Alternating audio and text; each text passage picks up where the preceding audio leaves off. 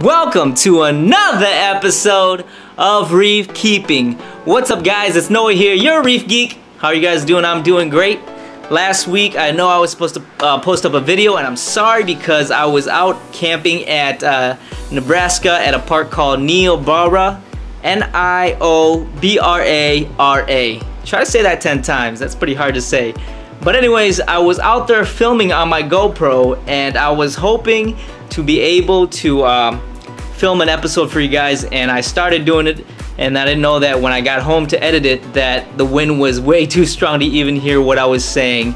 But anyways, um, I'll, I'll show you a little clip, uh, a little clip of what it was like out there. It was beautiful, a great st state park. If you haven't checked it out, it's between South Dakota and Nebraska. Right down that Mississippi, uh, no, no, not Mississippi, Missouri River or something like that. But anyways, check out the tank. Um, you know, things are doing okay. Could be better, could be better, but uh, I can't complain, you know. Some people don't have a tank at all.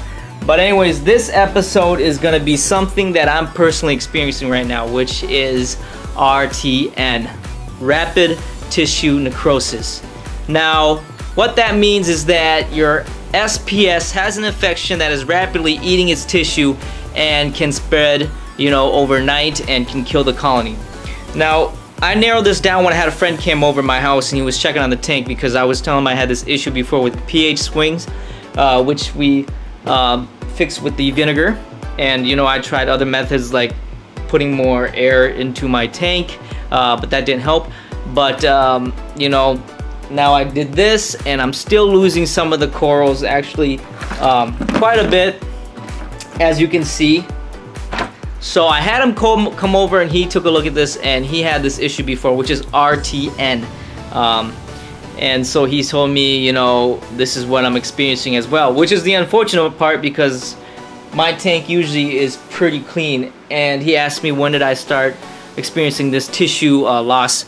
And that was when I told him that it was not too long ago I think about two months or so when I started I bought this moose colony from someone in the in uh, the local uh, place around here and I put it in here and I started losing stuff. So that explains it. Uh, at least I have a little bit of idea of what else it could be that is killing my corals. Um, but fortunately I'm not losing it as fast as he you know he was uh, losing his. He said it took about a week or two weeks for it to basically killed all his SPS in the tank.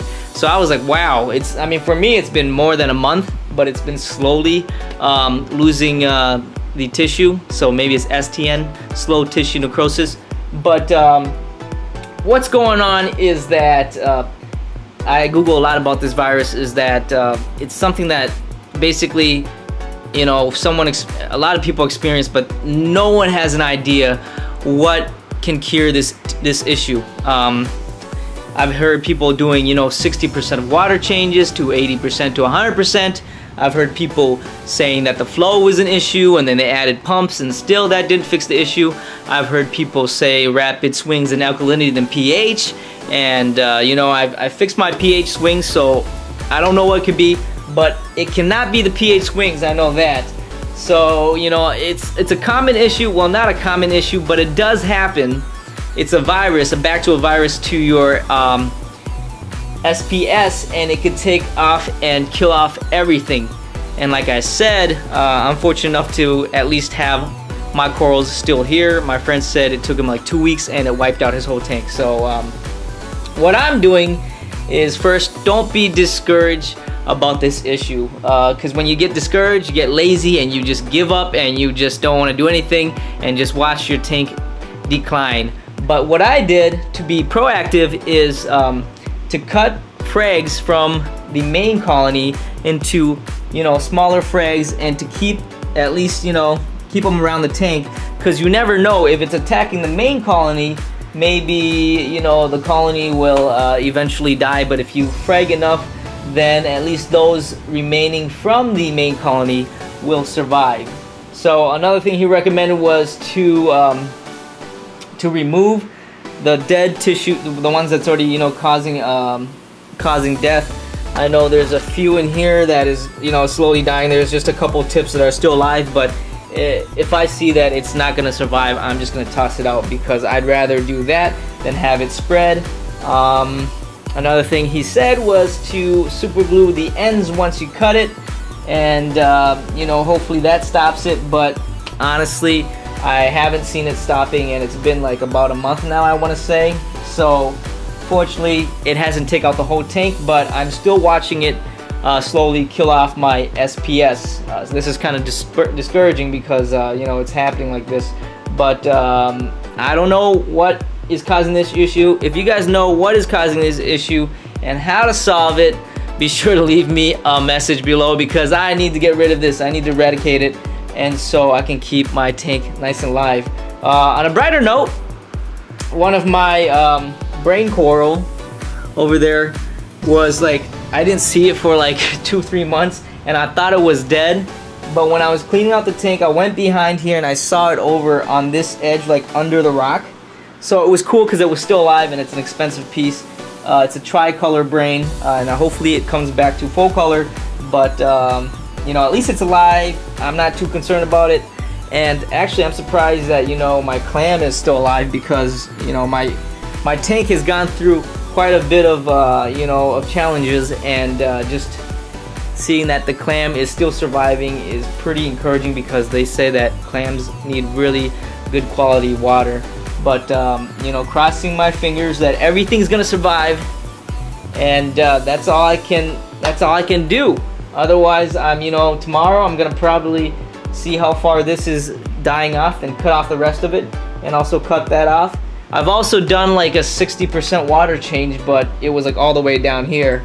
And man, that was a pain in the butt. That was like a half a day for me because I had to brew it, then I had to do everything, and you know, it was it wasn't fun to say the least. But uh, you know, it's done. Hopefully that'll take care of it. I have another gal five gallon brewing, and I'll go ahead and change that out actually tonight after this video. But, uh, you know, that's all I can do is I'm trying to cross off all the things that I could do and do as much of it as I can to try to prevent it from, uh, you know, damaging more of the tank. That's the one thing that you gotta do is be encouraged and don't give up because when you give up, man, it's gonna suck because I know there were days I was just like, I don't wanna clean this tank, I'll just let it go. I don't wanna brew water, I'll just let it go but uh, it's an investment and if you don't put your time into it then you're gonna lose everything. But then again you know it's one of those things that you uh, learn from being in the hobby. Like those uh, the things I used to say is that you know even the people that are in the hobby the longest just because you're in there the longest doesn't mean you are you know the king of reefing or keeping uh, these corals alive. Because I've seen people you know like my friend who's been there in the hobby for like 20 years back when you know the light bulbs were like really thick uh, VHOs or something like that.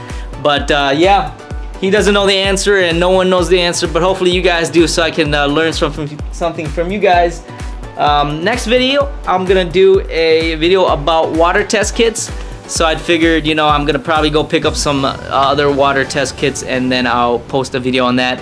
But for now Again, thanks for joining me. Unfortunately, I'm facing this. I'm gonna battle it and I'll let you know what's going on. If you have any tips and advice, please let me know below. Remember to share, like, subscribe, and as always, you guys, keep reefing. See you later!